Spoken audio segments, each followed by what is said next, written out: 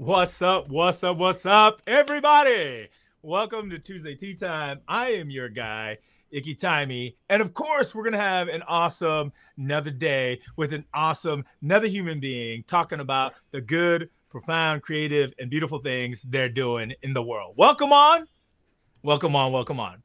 Just before we get rocking here, I do want to say um, if you are watching along and this is your first time, welcome to Tuesday Tea Time. We see you out there. RD Lynette, good to see you on here, my girl. Of course, out to Jillian and to the rest of you guys, welcome on to Tuesday Tea Time. If you're new here, please consider smashing that subscribe button or the like button or the follow button and share this with people. Because every week, I guarantee we're going to bring something fun, something thoughtful, something uh, worth your time to engage with. All right. You could watch us or you could just listen on in your car without looking at the screen or while you're vacuuming or while you're doing the other stuff you're doing in your life. Welcome to Tuesday Tea Time. So today, I've got this uh, this homeboy on with me. He's an author, a husband, a dad. He's a musician. He's a CFO. Simeon Shigg is joining me to talk about his book, Manners from the Moon family, life, and faith. We're also giving away a copy of Simeon's kid book here, Manners from the Moon. So stay tuned with us, hang on in there, and uh, at the end, we'll make sure that we pick somebody from in here to uh, get this book. Especially if you got a kid, trust me, it's it's excellent. My kids loved it. They read it a bunch of times through. They started drawing the pictures and trying to write their own books um, out there. Yeah, it's crazy hair day, Chugs. I know, I know. Um, most of you are used to seeing me with my beanie on. This is probably the first time since COVID has started where I've actually not worn a hat. This is my my COVID do, as it were. Um, no, you don't have to be afraid, Jillian. Go ahead and say what you got to say. It's this is me. This is this is actually what it just looks like regularly all the time. So, just before we get to Simeon, I do want to um, just give you a quick shout out about the say hello. Make sure you um, jump into www.sec.adventist.org forward slash say hello and drop your story in there. Share a little bit about yourself, about maybe during this COVID time, what you've been going through, maybe some struggles, maybe some stuff that has to do with how God has been faithful to you. And we'll make sure we share it. Also, drop a picture in there.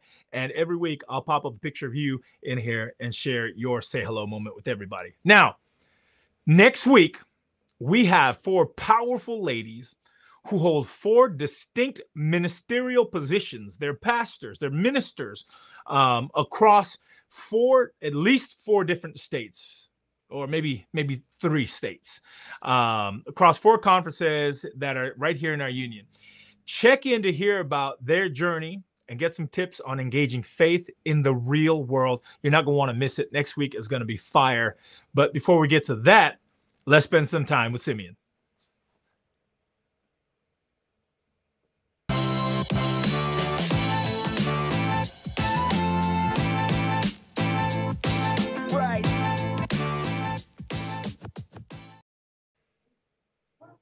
Simeon, my guy.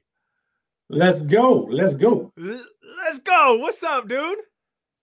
How you been, man? Good, man. It's such a pleasure for us to be able to connect here. I've been looking forward to this um, and looking forward to talking about this neat little book that you've just put out, bro. Thank you. Thank you. Thank you. Glad to be here today on Tea Time. My buddy, Pastor Icky, appreciate you in my life and our relationship. Um, thank you. Yes. Hey, man, it's a real pleasure. All those years of spending time listening to you play the keys, teaching you how to play basketball on the on in the basketball court. You know, I just I just want to be able to yeah. uh, to make sure we bring that around, right? Um, yeah, teaching. That, what that's what we'll today, call bro? that teaching. um, today for a tea time, I have cactus cooler in my transformer goblet from my best friend Bobby. Hello, in a goblet. Yes, cactus cooler. Cactus cooler is sorely underrated, don't you think?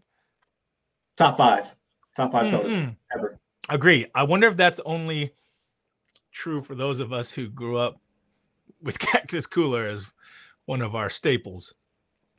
I mean, but if you didn't grow up with Cactus Cooler, did you really have a childhood? Like what? what are you, what are you putting in its place?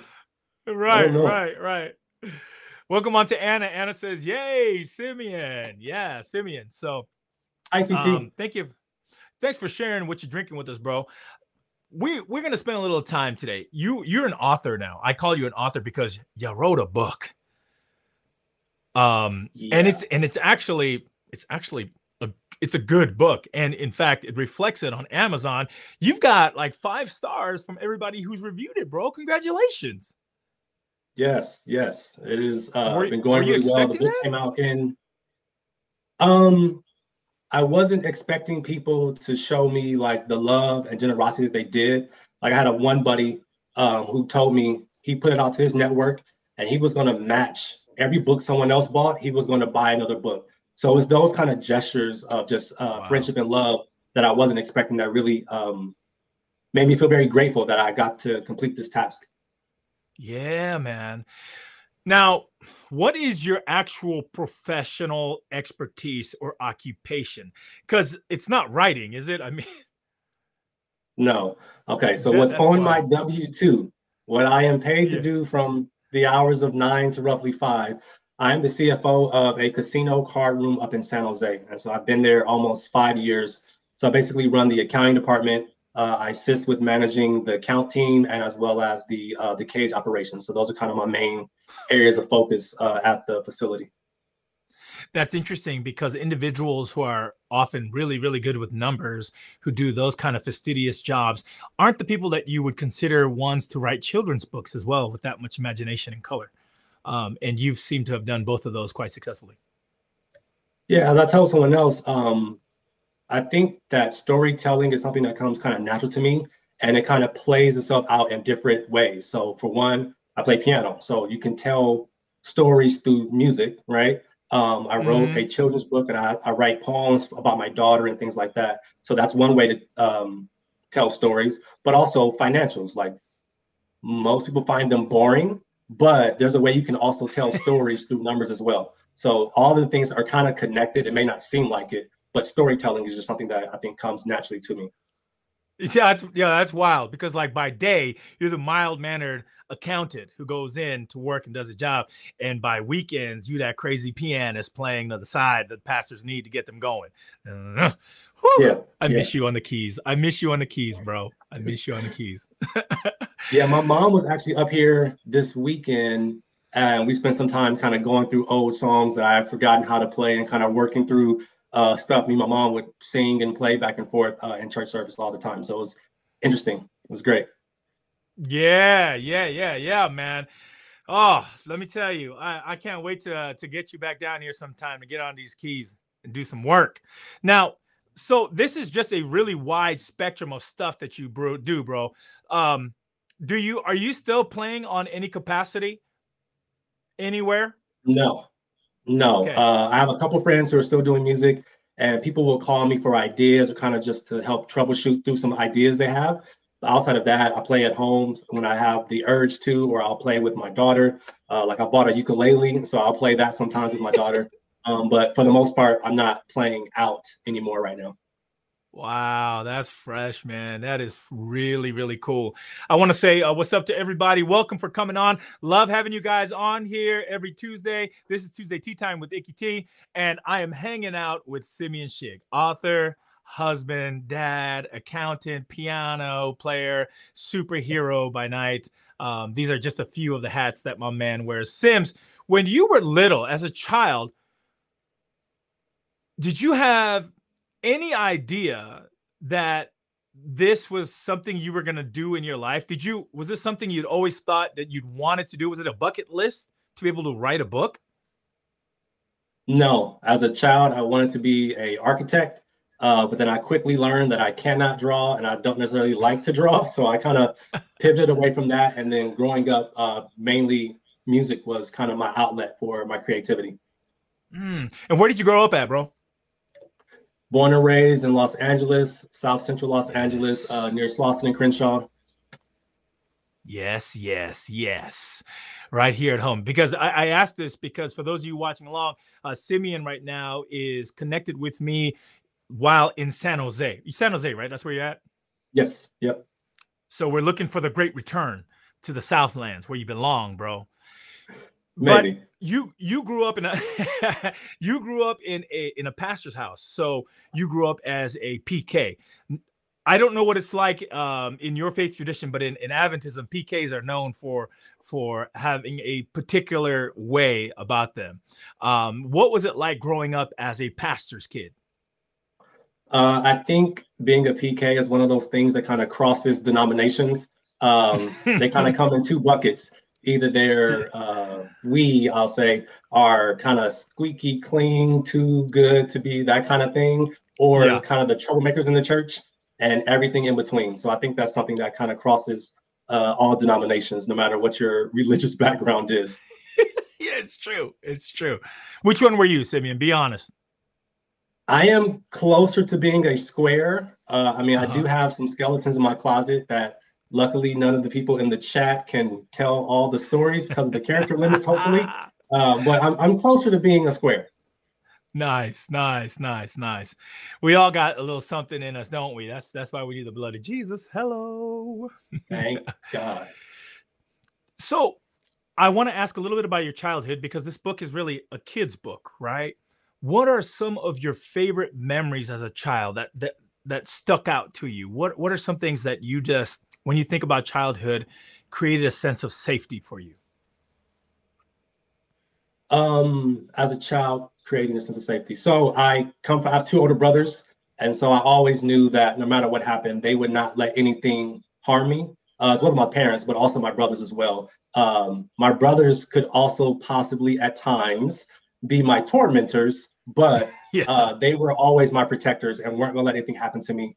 Uh, as far as kind of growing up in the church, uh, I just kind of remember basically always being in church, always being at Bible study, uh, any service we had to go to, needed to go to, uh, I was there. I have a joke that I tell people now that I'm probably about 72 or 75 in church years, if you kind of add up all the services I've been to. Um, but yeah, I w- I wouldn't change any of it. Wow, awesome. Are there any particular stories or books or adventures that drew you in as a child? I read a lot of uh, Goosebumps growing up, kind of in that Goosebumps elementary into junior high. I remember one of my classes we had a lot of book reports, which I think mm-hmm. kind of uh, stifled my love or lack thereof for reading. And I had to kind of get back into the groove of reading. I'm still having trouble like completing larger books per se. Um, but growing up, just the kind of joy in people's face um, in church is something I, I definitely remember and hold dear to my heart. Yeah, yeah, that's nice. Yeah, uh Dwayne Dwayne said that's what big brothers are for. That's what big brothers do. truth, truth, Dwayne, you speak truth. I've got a big brother too, man. I yeah, we, we we I don't know where we'd be, right, Simeon, without our big brothers, bro. right. Right. So as an adult in the community that you live in, you are doing some really good things, man. And thank you for doing that because we need more good fathers and good husbands and good CFOs and good musicians and good authors to be able to paint the world that we live in to create more reconciliation, um, especially during a time that we're so divided. What do you credit your success as an adult to? Um, once again, definitely to my faith, uh, my God, Jesus, my parents, my family, and just kind of always being around um, good people, as well as my dad ran a drug and alcohol recovery program for the majority of my life. And so kind of hearing those those stories of what can happen if you veer too far away uh, from the faith or you make some incorrect decisions in your life, kind of always having that kind of fear of that pain uh, has also kind of helped me stay closer to being square, I'll say, uh, than mm. some others. Yeah, yeah, yeah. I, I was so impressed by your dad. You you you got me an appointment with him one time to just go look at some stuff, and so I came over to your church property, and across the street, uh, your dad had like a thrift store, and then there was like a food bank, and there was a pantry, and all this stuff that he was doing, not for the sake of fame or glory or for people to say, "Wow, you're amazing," or or to get a bigger paycheck, but literally for the community. All of this work was for the community, which impresses me because too often I think we have too many famous ministers, if you know what I'm talking about, and not enough uh, uh, people who are grounded to doing the work of service uh, in their personal as well as a professional life. Is there something that you could think of about your dad's ministry that really stands out for you? Um, well, before I, I go there, it wasn't until maybe junior high or almost high school that I realized that my dad was an anomaly. Like I thought that mm. every pastor helped the community and looked out for yeah. the church and fed people. And I thought that was the norm because I mean I grew up in my dad's household. So it wasn't until maybe end of junior high, high school that I realized that too many pastors, I'll say, um, mm. preach on Sunday or will teach Bible study, and that's the extent of their ministry. Mm. And there are people in this world that are really hurting that need like literal food, right? And they Ooh, need literal clothes. Um, and so I'm, i was very blessed to be uh, alongside my dad and my family in the church, Love It to Me, um, which is closed, but still was so impactful in Los Angeles. Um, I can tell story after story of the love of God working through my father. Um, we had a, if you've been to our church before, been to the church before, we used to have a green ribbon, and it was something that we would pin on every single person that came through the door. And the story of the green ribbon is a very simple one, but so impactful. One time, my dad was down near Skid Row uh, feeding the homeless, and he gave someone a hug. And the lady started mm. crying as like it was. It wasn't just a little weeping. He said it was someone that had really been moved to tears. And she said it was the first time in a long time that someone had touched her, wow. and they didn't want anything from her. Wow. Right. So think about that. If you're in the streets, people do things to you or for you for something in return. But my dad was showing yeah. genuine agape love and just wanted to show her love and nothing more, nothing less. And so, kind of having that mindset of helping people is something that I've always uh, admired of my dad and my family, uh, and was able to kind of participate in that growing up and still to this day. Wow, man. That is so good. That that is a way to model the love of Christ into the world. And we need more people like that. We need more ministers and we need more members like that as well. Right. To not just be weekend warriors for Jesus, but to, right. to do it all the time. That's great. When you sent me over there, we were just starting a, a thrift store at, at our church too and doing a lot of community connectivity. And in my mind, I was like, yo, man, this is like something that I want to do because I know it's going to be meaningful for others. And I don't feel like enough people are doing it. And I thought I was being pretty like, this was, uh, you know, this is going to be pretty, pretty fresh and new. And when I came and hung out with your dad, I was like, dude, this guy's been doing this for years. I should right. have been sitting at his feet learning how to do this for, for, for decades now. So yeah, fantastic, man. I, am I'm, I'm glad that I had the opportunity to run into your, your, your family um, on different occasions and, and learn from them. Thank you for that back to our book. So no all of this kind of really just leads back to our book, my man. Why was it important to put this book out for you? Now, actually, before we say that, can you just give us an idea of what the book is about for everybody who's watching long may have no idea what the book is about? Can you can you pull out? Can you show us the cover of it of, of the book and tell us a little bit about what the book is about? So I have a copy here. The book is entitled "Manners from the Moon." Mm. Can you guys see that? And yeah. so if you look closely on the back, anyone who knows me or has seen me around, the character, oh wait, this side, there you go. The character on this side is modeled after my mom.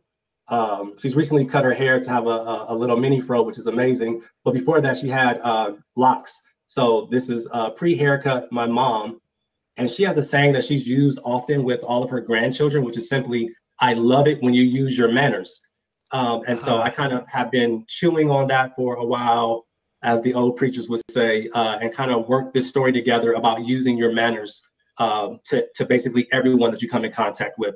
And I thought it was very important also given our our last presidency, don't want to spend too mm. much time there, but just kind of giving a tangible example of what we should be doing as as humans before we even deal with the deal with the Christian part as humans, we need to be nicer to each other. Yeah, so true, man. So true. And I absolutely the book is timely for children and timely for adults to be to be very, very honest. So um obviously I heard you talk about this coming from your relationship and your childhood of your parents and your mom specifically. Did it have roots uh, or does it did it find any roots in your faith as well? Maybe not directly, but mm-hmm. um, we understand that when Jesus came, we have the Ten Commandments, right? But he gave a, a mm-hmm. very simple way to break those 10 down into simply two commandments, which is basically love God with everything you have hey. and love and love humanity with everything you have. and so I think my parents modeling that for me throughout my lifetime has been such a such a tangible and impactful way. You need to be kind to people. Um, sometimes in meetings or people get road rage, you don't know what someone else is going through that day, and you could be either the thing that kind of gets them home or the thing that kind of pushes them over the edge. And so I always try to be um, mindful how I'm using my words um, and be as kind to people as possible. For instance, I was on uh, like a, a, support call with our payroll company, and they simply asked me, "Was there anything else I needed for them that day?"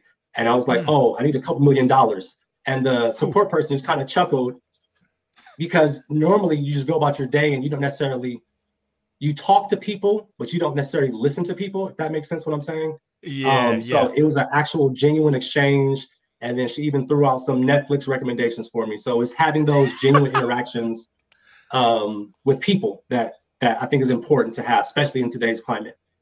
Yeah, man, that's ooh, that's key. I do want to ask, how come is it that you're you're you're never kind to me? The text, I'm just gonna put this out there to the public now. When you text me, you you know I, I don't get that i don't receive that customer service love man what's going on with that let's just put it out there because now. everybody's we, watching i'm gonna be real we are in relationship together so i want to make sure that um that you're growing uh in oh, god's yeah. love and god's patience and i want to uh give you chances to practice uh your patience and your long suffering with me that, I appreciate. That, that I pre yeah, I appreciate you uh, bringing Romans to my doorstep, man, and, and making yeah. me my endurance grow. I appreciate you. Yeah, that's me. I'm here for you. no, you're not. Uh, so, tell me, this is a children's book, so we're gonna keep running at it. Were you ready for fatherhood? Were not you ready? not, not, not at all. There, there's I don't think there are enough books written in this world about parenting. There's no way to anyone who feels ready to be a parent, like I I question kind of how many kids you've been around because it's it's different. Like it's there's there's nothing there's nothing like it. Like it's there's nothing. And I, I did my best to prepare myself. Um, I will tell one story uh, me and my wife Lynette, we were in um, Lynette. Kaiser. Shout out like, to Lynette. She's my girl. We were in Kaiser doing our kind of um, pre-baby training, whatever that is supposed to be called. Sorry, the word escapes at the moment. And mm-hmm. a woman asked Lamaze, Lamaze like, class, where, whatever that is. Yeah, something like that. Uh, and someone, a woman asked, like, where do you get the um, like the stuff, like the the smelling stuff that that puts the baby to sleep? And we all were so confused and thrown. And I think later on she asked, like, how long can you leave the baby in the same clothes for? Um, so even though I was not prepared to be a parent, I knew that I would do a better job than her. Um, so yeah. I was, it, it is what it is. he said, look, we're going to be better parents than that person over there is. We are. Yeah, for sure. For sure. Oh, man. Is it true for you as it was for us that before parenting, I thought I had my life pretty darn good. I had it together. I knew things. I knew almost all of it. And then once I had a kid, I realized there's a plethora of things that I had no idea about. None. And that happens to me almost every week. Uh, the newest thing I'm right. working on right now is we're teaching Brooklyn um, to tie her shoes and so now I have to sit down and watch videos on how to tie your shoes to make sure I'm saying the same thing over and over again. And I'm not switching it up on her. So it's just having that that care to do it right. As long as you care to do it right, um, I think that's what's most important to uh, being a yeah. parent.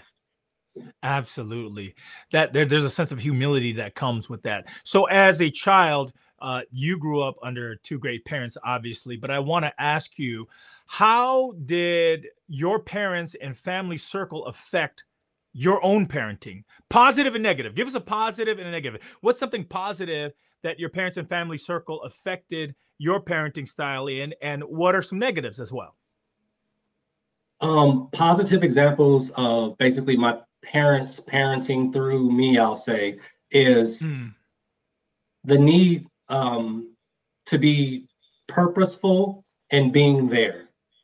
Mm. Um, so my mom, uh, my mom worked a regular, I'll call it a, a, regular job where she had a, a start and end time. So my mom was um, around as well, and my dad, who was in the ministry basically my entire life, um, he had the ability if something was going on in my school uh, and I had strayed away from being the square that I was supposed to be.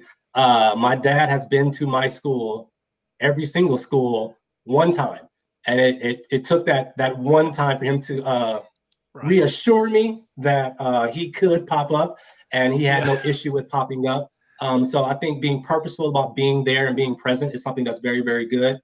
Um, something negative. I don't nothing comes to mind at the moment. I mean, I did grow up in a more my dad has a military background, so um, looking back on it, I can possibly say maybe I grew up in a household that was um, more strict, but I, I, understand that when you have three African American boys growing up in South Central LA, you have to set the rules uh, and be the law in the house. Um, so one thing that we're trying to do more is kind of give Brooklyn, who's almost three, uh, a little more space to have dialogue. Uh, but that comes with pros and cons. Uh, so kind of balancing that out of we want her to have a voice. We want her to have an opinion, but also when we tell you eat your breakfast, there's nothing really to debate about. Eat your breakfast. Um, so I think that's. We, we come from a different cloth, don't we, Simeon, than the ones we're trying to it's, create for our different. kids. Right. I'm right. trying. I'm trying to hold these conversations with them, asking them questions. But when they talk back, mercy, I want to reach back to that old school cloth. I no, for real. Like I, I, I reached out to my my parent buddies and my parents and other parents that I know, yeah. basically asking, how do you teach a kid to not hit without hitting them? Without right, right. what's the answer there? Because the, the talking part wasn't working. yeah. well, it, it wasn't working consistently. Um, yeah, so we're trying yeah. to find ways like how do you teach someone not to hit uh, without hitting? Like Please, child yes. protective services. I do not beat my daughter. Don't send anyone here. But that was a conversation I had with my friends. Yeah, yeah. This this is true. Sister Taylor said the balance is tough. Ooh, true. So true. So true. Yeah. Um so let me ask then, as we're talking about this, South Central, three African American boys in a in a neighborhood that um, has found itself to be a desert for quite a few things. What was like? What was that like for you growing up? Did you feel any pressure to be anything more than who you were? Um, did you have to be different outside of your home than when you were in church, than when you were at school? How did that work out for you? Um, my, if you if you talk to my mom, my mom will tell you, and my dad will tell you too, that basically I had three fathers. I had my dad, and I had my two older brothers. So anything that my parents, anything that I was able to basically get past on my parents, and it wasn't that many things. Uh, my yeah. brothers were there to make sure I was still in line. To the point of, I remember in high school getting a flyer for a party and getting like my parents' kind of approval, like almost approval, uh, to yeah, go yeah. to a party. And my brother seeing kind of where the party was and what schools were invited. He was like, "No, you can't go." And I'm like, but mom and dad said, and my brother was basically saying, like, I said you can't go. And that was the end of that discussion. Um, so definitely having uh, those protectors around uh, yeah. was very helpful. I didn't have to be anything that I wasn't. For instance, I would walk home and there were mm. guys that um, lived on the block behind us that I grew up in elementary school and the beginning of junior high school, kind of playing football with, riding my bike, um, going to the movies with.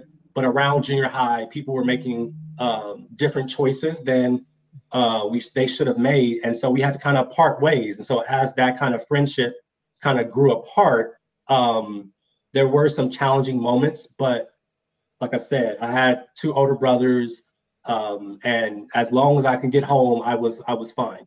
Um, so nothing nice. nothing crazy ever happened.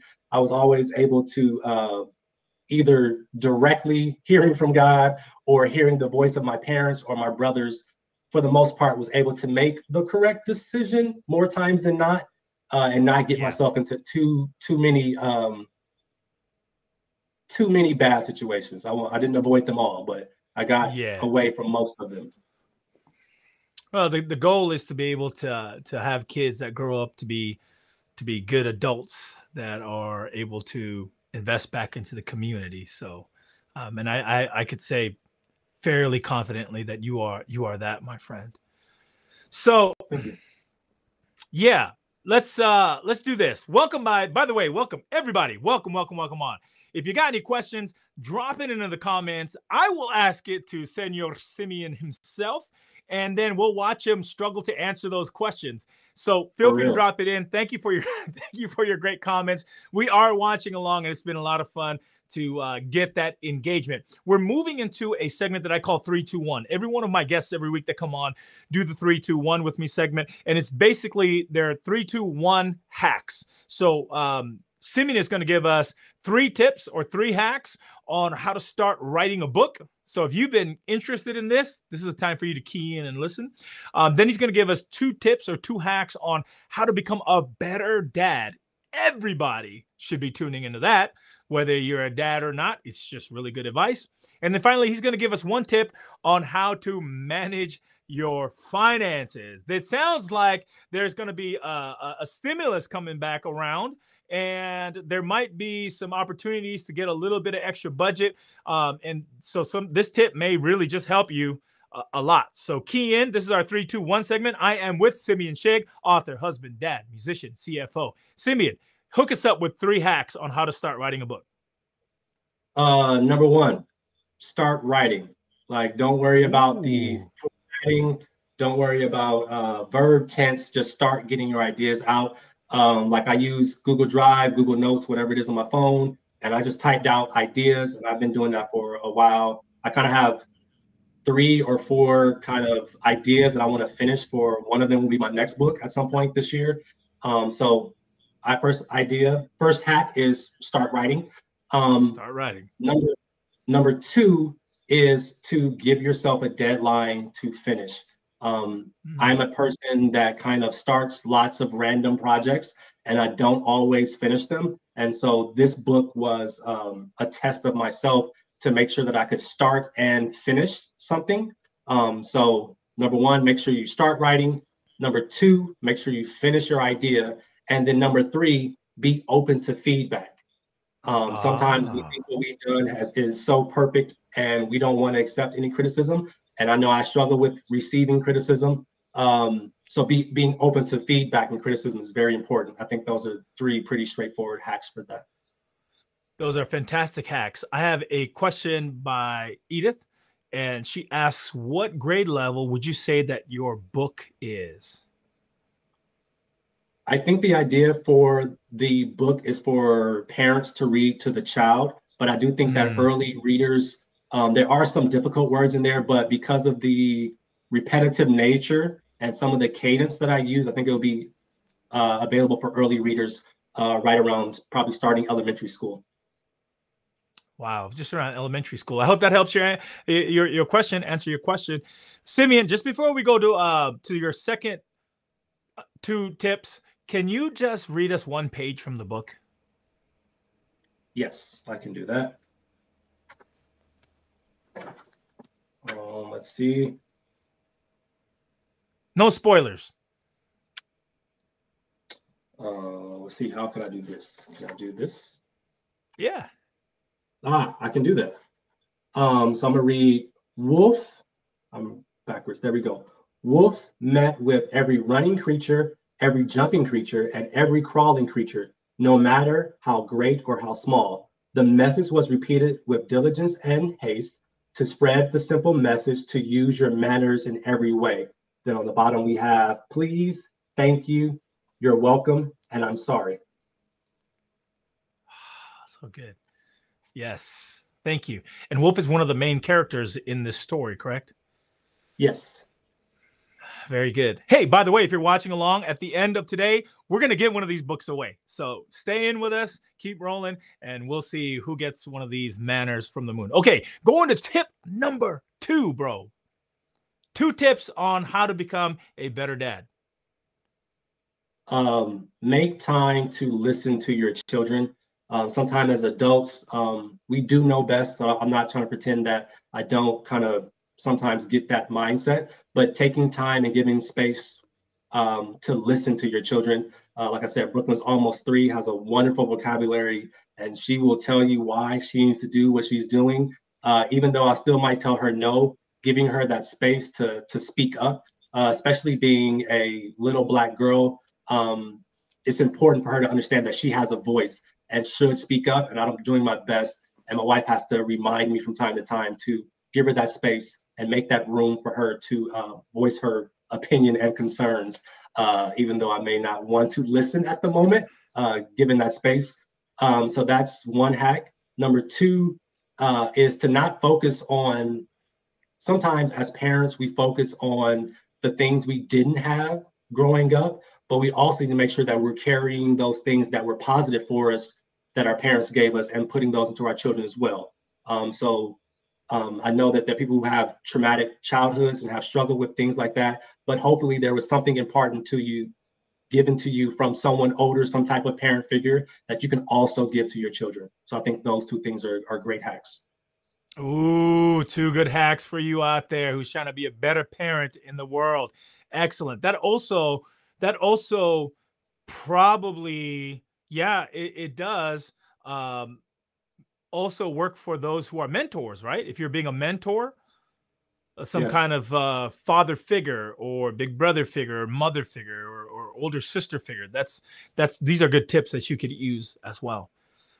Very good. Right. Um, Jillian asked, "How is it working with an illustrator?" Um, it is. So I'll try to make the, the longer story as short as possible. Yeah. No, no, no, no. Um, my I actually finished this book in 2019 and started working with mm. the illustrator who, during our kind of process, gave me a price. And then once we kind of got more involved, um, wanted to renegotiate the price.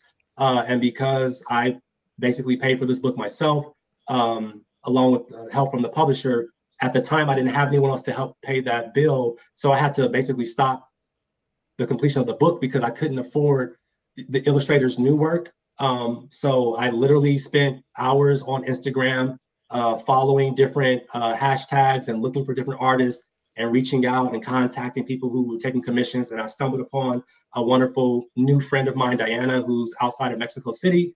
And she got back to me and we started working. She sent some sketches. It was a wonderful experience uh, once I got to an illustrator that I liked their style and I knew they were wanted to work with me and complete the task. Uh, but that kind of finding an illustrator, you have to take the time to kind of find something that you like. Um, I don't have a artist background, so I, I don't know all the correct words of what I was looking for. But when I found someone that I liked, uh, I was like, yes, this is what I'm looking for, and just started reaching out to them through through Instagram. Wow. So basically, don't settle until you find someone that works for you.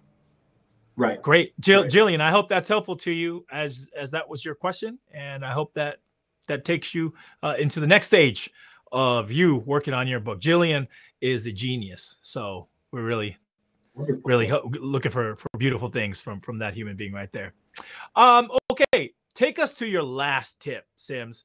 One tip on how to be better with your finances.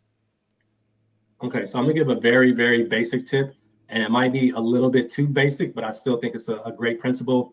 Um, sometimes we only check our banking apps or we check our online activity just to see our banking balance, see how much money we have left to spend. Um, mm-hmm. But you should set aside some. You should set aside some dedicated time to weekly review your transactions of what you're spending money on uh, and make adjustments where you need to. So Ooh. don't just look at the bank balance. Go through. Okay, I've been to Target every day this Ooh. week, or I've been to Subway every day this week. Uh, and if your budget can do that, then that's fine. But if you're looking for ways to cut back, kind of knowing what you're spending the money on, like, hmm, it seems every Saturday I run out and go to McDonald's. Why am I doing that? And kind of digging into um, those transactions as well. So more than just the bank balance, look going through your transactions as well. Ah, man, I know you said that's basic, but I've I've not been doing that. That's a great tip, man. And the reason why I don't, probably like many other Americans, Americanos, is that we're afraid of what we'll find out about ourselves if we look too closely to yeah. to to our to how we've been spending our money. Right. Right. Oh man, Simeon, why do you have to challenge my soul like that, man? Ah. People, because we're go friends. check out your stuff. Oh man, okay. I guess, I guess. Thank you. Thank you, Simeon, for that last tip. and for all of you out there who hasn't been doing it, I want to challenge you. Go start doing it now. Check it out. Make sure you're you're looking at where you're spending. You're, is Amazon popping up every day? If it is, you might want to slowly roll a little bit, unless you got the money for that, right? Um, right. Yeah, we tend to look at the the the final number the right. and that that's kind of it's not really telling because some of that's already been spent or it's being spent. All right simeon i appreciate that tip. Those are three two ones from simeon shigg our author our husband and our father of the day. Bro how do you or how are you planning to share and engage your daughter on the racial travesties that are happening in her very young world? Or have you talked with Lynette about that and and how you will approach it one day when she begins to become more aware of it? That's um, she's still a little bit young, and we haven't had any necessarily directly racial ins- instances with her. Uh, and I pray covering over her every day she leaves. Every day we take her to daycare that she's safe. Um, but it starts with what I said earlier about making sure she has a voice. I know even me as a six-three African American male, I'm cognizant of how people view me, no matter how I'm dressed. Uh, and sometimes I make myself, or I have made myself small as mm-hmm. to not scare anyone or offend anyone or challenge anyone. And so, me having to go through and unlearn those um, habits that may have been helpful growing up to make sure I made it home safely, but don't need to continue into my daughter. Me unlearning those tactics so that she can be a full person with opinions and words and ideas, and so that she has no issue with speaking up. And then also ensuring and instilling in her that I will always make sure she's safe. Like even now, a couple weeks ago, uh, there are trains that run near our house, and sometimes she gets a little uh, concerned with the loud noise. So she'll go, It's a train, it's a train. And I'm like, But you're home. And so now she's learned, and she even did this, and I almost started crying. Um, she heard the train. She grabbed me and said, mm. It's okay. Don't be scared. You're home. Mm. Mm. And so it's just mm. making sure she understands she can, she has an opinion, voice that opinion, and making sure she's safe. I think mm. that's the foundation that we're setting um, to set her up for the right path. And as she gets a little bit older, and then we have instances where we have to intervene, uh, we can intervene in the right way and show her how to uh, deal with people who may not like her because of the color of her skin. Mm, mm, bruh, chills. That's book number two. It's okay. You're home. You're welcome. Let me write that down. Hold on. Let me, let me write yeah, that yeah, down. Yeah, yeah, go ahead and send me my royalties, bro. no. Ooh, no. People, this is what I get from Simeon. You, you, you just saw that. I want you to notice the abuse between our friendship. Oh that's, man, that is that that is good. That's that's very good. Okay. So recognizing that these travesties are happening in our world today, did that have any bearing in the book uh, as you were putting it together? You you alluded to it earlier, so, how much of it? I think sharing the idea that, um, and so if, if people who know me know that sometimes when I speak, I sometimes separate my faith from what I'm talking about because I want to make sure that everybody's listening at the same time. So, mm-hmm. as a human being, we should be nicer. Like, there's that's a very simple statement, but somehow so controversial uh, with mm. some people. And then mm. on top of that, as Christians, we're called to love. Um, and so the Bible even talks about um, loving those who spitefully mistreat you, which basically mm. is the concept of people who are mistreating you on purpose. Like they saw you standing there in your fresh shoes and they they stepped in mud and stepped on your new shoes on purpose. We're still called as Christians to love those people, right? Um, so sharing kindness was kind of sparked um, or assisted in completing the thought um, by kind of the events of what's going on in our in our country, but as well as just humans. Like, please be nicer. Um, mm. Is the idea that we I was trying to get across, and hopefully it came across. oh man. Wow. I know you said that this was something you were trying to not divorce, but separate faith from because we're talking about kindness as humanity. But but the more you talk about Sim, the more you talk about this book, the more I feel like it's just doused in in, in the deepest principle of being a Christian. I mean, right, you, right. You kept saying things like just being, just be nice people. And I know Jesus didn't say that quote unquote, but if you're listening to him in the gospels, this is what you hear, right? This is how he treated the leper and the bleeding woman and the children and the marginalized. That kindness. And when people stepped out of that, even his own disciples, he he had to put them back in the check over these things because right. there was you know sorry to cut you off. Um, my no, mom tells cut a story. Me off, man. Go.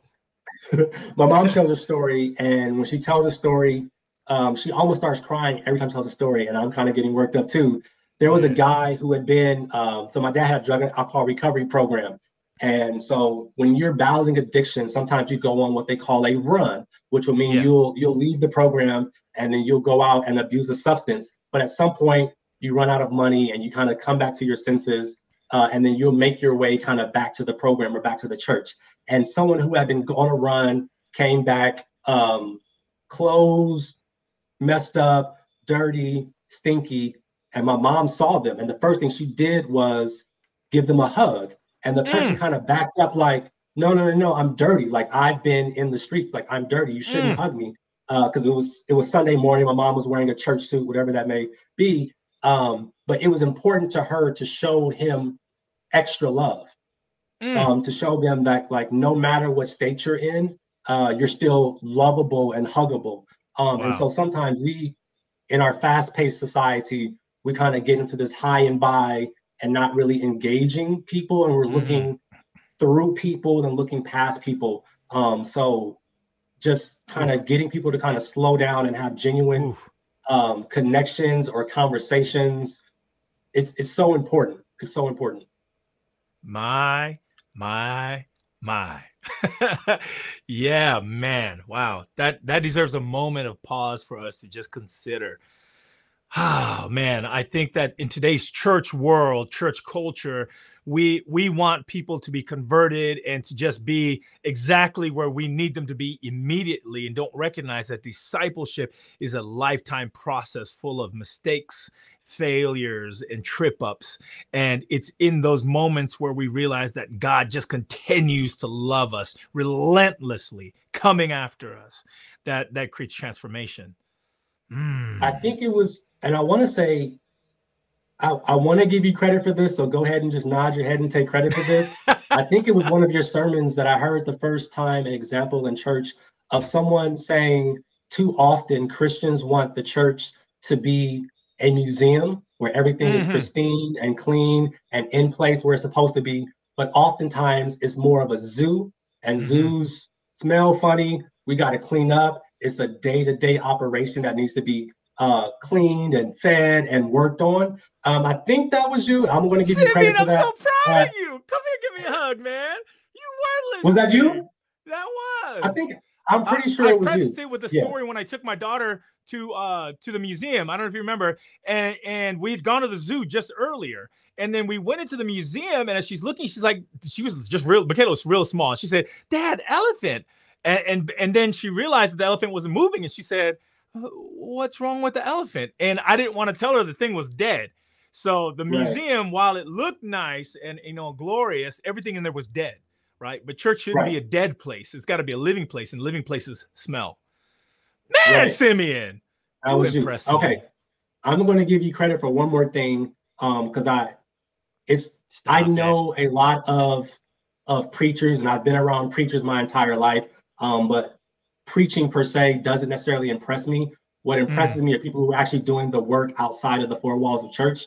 and you've always been a pastor and a preacher that did that, and I want to commend you for that. Um, you took the time. So people who are watching, you may not know this, but like I grew up.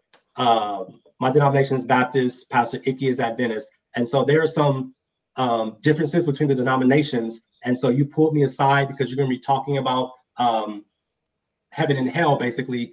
And so you prefaced it with if the only reason that you're serving Christ is to not go to hell, then you're missing so much of the faith.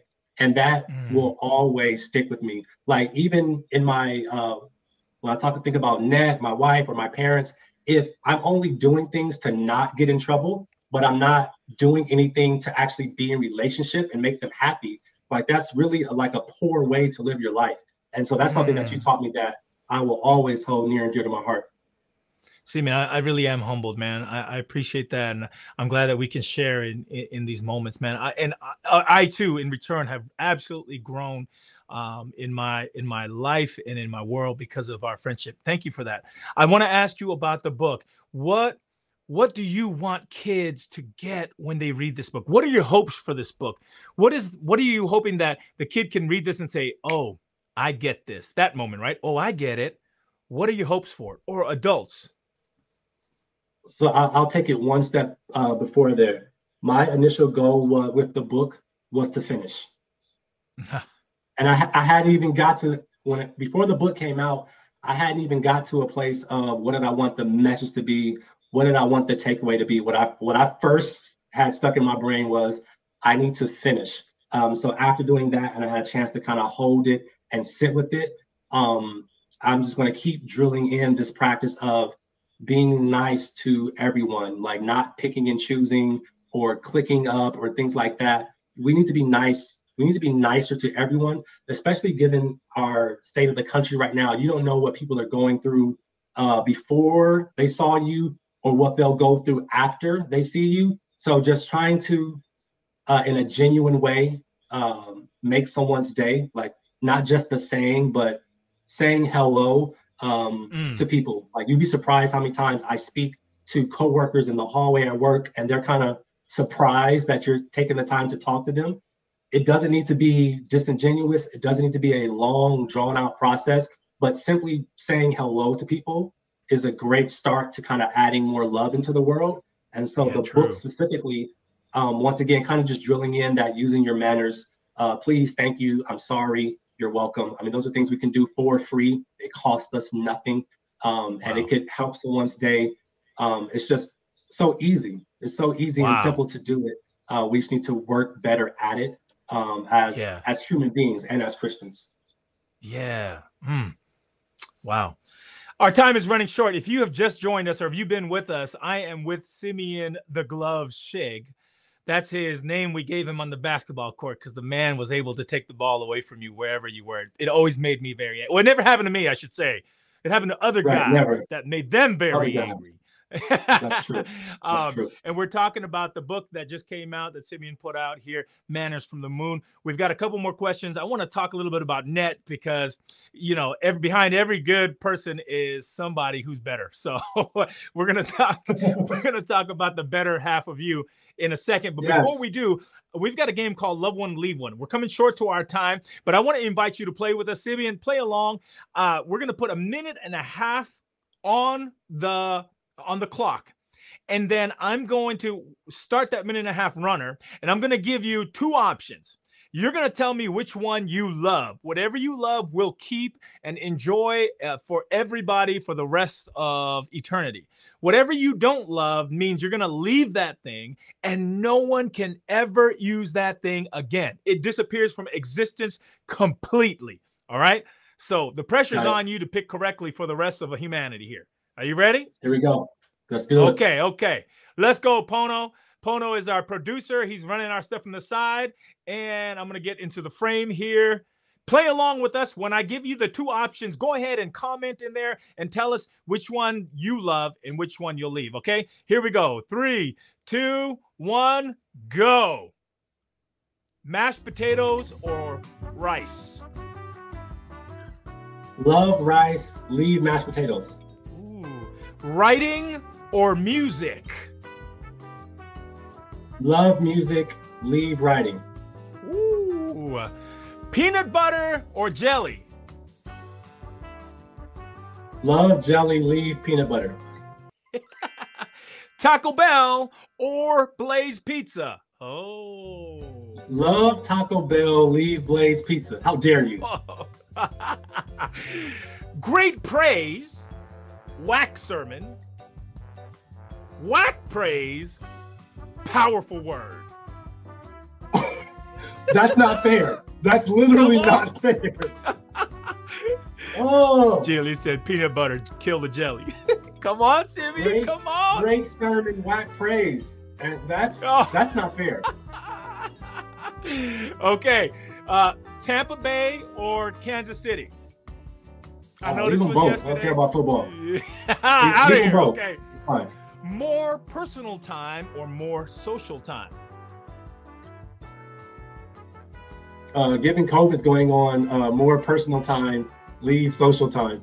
All right, all right. Sharon says powerful word. Okay, Lakers or Warriors? You better answer this correctly. Love the Lakers, leave the Warriors. Yeah, we are. I can't go home. Yeah. Thank you for playing. Hey, we saw those, some of those good answers here on the side here.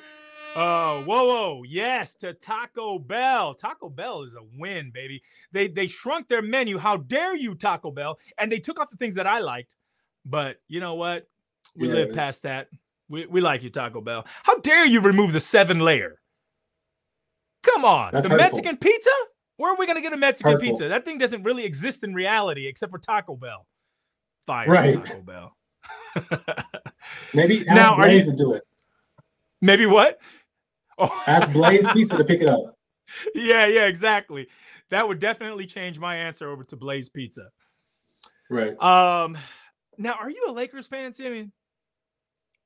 I am a basketball fan. Both my brothers are diehard sports fans, so I never really had yeah. like a, a favorite team. I mean, I did ask mm. Granny, my mom, to send us some Laker championship T-shirts, so I do have Got the T-shirts. Um, I don't own any jerseys though. All right. Yeah, me neither. I, I'm allergic to wearing other men's names on my shirts. But but hey, if you like to wear jerseys, it's cool, man. Praise the Lord. I, I, I, Jesus is what I got. That's the best I can give you. Mark, Mark with Lakers. Yes. Jillian with the Warriors. No, no. Okay, um, we're rounding out our time, and here just at the end, we're going to give away one of the books. Before we do, I just want to uh, let you know if you've popped on, this is Simeon Shigg, author, husband, dad. We haven't talked about the husband part. I'm going to jump into that as we finish out in that particular segment. Let's talk about your wife, Lynette. Was now Net's on, so I just want to give her a shout out. That's my girl. Um, uh, good to see you guys on here. She is a beautiful and talented woman, Simeon. How did you trick her yes. to marrying you? uh, it's called playing the long game. Playing the long game. Uh, we met first day of high school at Hamilton High School, uh, ninth grade geometry class, room five eleven. Um, so we were always friends throughout uh, from ninth grade all the way on. Um, so that's that's the most general answer I could give. The long game. Nice, nice, nice. Now, what does she do for a living? If that's okay to ask. Uh, yeah, Net is currently a workers' comp defense attorney. Um, she works for a company up here. There's actually a couple offices throughout the state, but she's an attorney. Wow. Um, and I, I don't know if she still does this, but she was a professional dancer at one point. Is she still, or does she still do that? Um, she has not been dancing uh, regularly recently, um, especially given Brooklyn kind of our, our kind of new schedule. But it's something that she's always loved to do, and I know she'll definitely get back into it. Mm. How, so how does your household resemble or diverge from the traditional African American home? Um, I really only have like my home to kind of balance this off of, but kind of two working parents. Uh, we trade off dropping and picking up the baby, trying to do our best to minimize uh, the TV watching or screen watching, which has become uh, more and more during COVID um, making time for baby. I think these are all things that happen in uh, African American households, along with hopefully yeah. lots of households across the nation. Um, so just working, eating, sleeping, taking care of the little baby. She's not a little baby, but I'm gonna keep calling her my baby forever. Yeah, no, I feel you. I feel you. My daughter's uh, about four, almost four eleven now. she's like seven, and uh, she's gonna be my baby. But if she jumps on my back one more time, I'm gonna have hernia and go to the hospital. right. Um. Right. In, in your home, how do you, as a husband, how do you prioritize and take care of your relationship, Simeon? This is imperative because uh, we need more men who are willing to be active roles in their families towards their wives, um, because that models to our children what a good, healthy relationship looks like. What are some things that you practice in your life to make that a reality? Um, trying to have uh, dedicated time when it's uh, just me and Net versus kind of running everything kind of all together. Um, taking breaks and making uh, special efforts to, if I see she's had a bad day or having trouble with something, do my best to, okay, what else can I do around the house to help? Um, just trying to, I know people talk about the wife should be the helpmate, the helpmeet and the mm-hmm. helpmate, uh, but that should be going both ways. So helping as best I can, taking tasks on as best I can, uh, being flexible when I need to be flexible, um, making time for all the people. And so that's that's really mm. it interesting how God made a helpmate for for the man. Usually, when you when you when you make a helper for somebody, it's because they they're deficient somewhere. right, right, very very true. Right, right. Good God, praise God for for our lifeguards who who keeps us alive, man. Thank you for that. Alive. And I, I do want to yes. encourage. I want to encourage all of our, our, our young men watching along, hey, um, practice being a good partner for somebody now because practice makes good. Practice makes better. It doesn't make perfect, but it does make better. So practice being that now to your family, to your relationships, to your friends. The better human being you are right now, when you get into that relationship, the better you will be in that relationship. Okay, we're going to close out right here. Our time is up. I want to thank everybody for watching along. Simeon, thank you so much for being with us. I'm going to ask you one last question, and then we're going to give a book away, and then we're going to say goodbye. My final question is Can you just share some words of inspiration? Can you speak to our viewers who are watching along? Can you speak to that person who's going to watch this later on, maybe late at night? They're, they're looking for something, and, and they happen to fall into this conversation and get addicted and just follow it to the end. Could you share some inspirational words, some encouraging words? for our young people um, and for our married people and for our peoples here in this world, people of color, white people, rich people, poor people. Share with us, my man. Could you just speak some life into the internet today?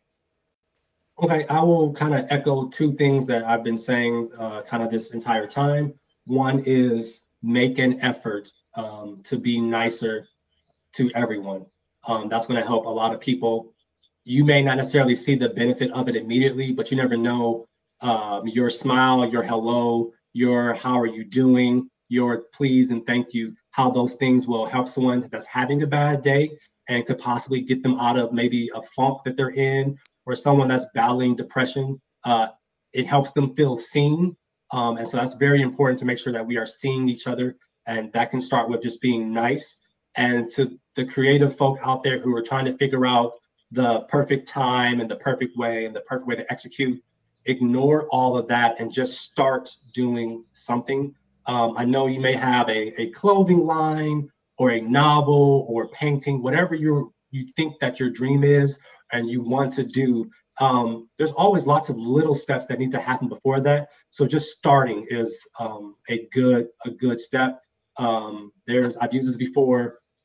The the formula, like the mathematical formula for work, right? In physics, the word for work, yeah. the formula is, excuse me, uh, it's like force times distance. So I can see how much work you're doing by the energy and how far you're taking it, right? So if you have a mm. task that has a lot of, you have a lot of work to do, there's a lot of ways to do a lot of work. You can put in a little bit of energy that hopefully mm. will go a long way, or you can do a lot of energy and it goes a little bit incremental steps, or it's a balance between how far you're going and how hard you're working. You see what I'm saying? So yeah. starting is the key to all of that.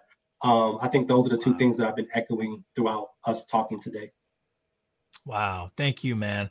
I really thank you for your time. Simeon, it is always a pleasure to be with you. And thank you, everybody, for showing up here. We're going to give one of these uh, amazing kids books away manners from the moon so i was just thinking in my head how do we do it how, how are we going to give one of these books away what's the best way to do it this is how we're going to do it i'm going to have simeon choose someone from our comments and when i say go i want you to we we did this the last few times when i say go go ahead and drop into our comments hey i'd like one give me a book and then um and then i'm just gonna let simeon watch the the the, the comments scroll and he'll pick one and whoever he picks you will be our winner.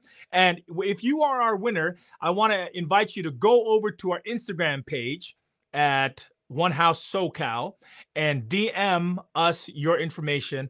There i'll be able to shoot out to you um, one of these books straight to your doorstep. Now if you don't win I want to encourage you to go over to our Instagram page, anyways, and subscribe, follow. And if you're on our YouTube, please hit that follow button for us. We're, we're trying to grow this out. We have uh, conversations every week with individuals who's doing good things, and we want to make sure that we're putting this encouraging, inspiring content out into the world. Okay, Lauren, you started too early. Lauren, is it Lauren? Yeah, Lauren, you started too early. Okay, here we go. So hold on, hold on. Book, please. Anna, I, I didn't say go yet. We're about to go. Okay, ready?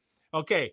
Anna was the last comment. And now, now we're going to start. Ready? In three, two, one. Okay, drop it into the comments. Go ahead and, and, and put down you like a book. All right. Anna, we start, we're starting with Anna. Okay. Thank you, Anna. I'm going to give you 10 seconds. If you're watching along, go ahead and start dropping it in. There you are. I want a book for my grandson, Cheryl Shigg. Lauren, oh man. Lauren, you get in just because you just put that comment there. Edith, I'd like one too. Excellent. Okay, here we go. Jillian's in. Hello, Mark. Hey, here we go. Autograph copy, please. Yes, Simeon, I want an autograph copy too, man. I'm gonna send you my book so you can sign it. Yes, yes, yes. There, we, there it is. There it is. All right, Nina. and uh, we're gonna close it out in 10 seconds. Simeon is watching along, so if you want a book, go ahead and put it in there. Nine, eight, seven, six, five. RD, yes, four, three, two, one. All right, Simeon, you've got the heavy pressure of picking someone from those comments. Ready? Go. Everyone that commented, I know already has a book, so I'm trying to look for people who. Chugs. Chug said he wants one. Do it, Chugs. Let's do it. Alto Vice. Alto Vice says, "Book, please." Alto Dr. Alto Vice. Oh, do do Chugs. All right, Chugs. Chugs is our winner today. My man. All right, Chuggy's Grub. We'll, we'll definitely hook you up. Hey, Chugs, go over to our Instagram, um, over at One House SoCal. Drop a DM to us and uh, give us your your uh, address, mailing mailing address, and we'll shoot you a book. If I can somehow route it to Simeon, I will, and he'll autograph that for you. Everybody else, thank you so much for joining us joining the convo, being a part of the engagement. We just love all of you all. Simeon, my man, thank you for your time today. Thank you. Pastor okay. Icky. Until next week, my friends, stay, stay safe, be kind, and have manners. Jesus loves you. We do too. God bless you. We'll see you next Tuesday for Tuesday Tea Time, where we're going to have four ladies who minister in different fields professionally um, talk with us about their journey as females, as persons of color, um, and the struggles and the victories and the hopes that they have for the community of faith. God bless you guys. Be safe until next Tuesday. I am Iggy Timey.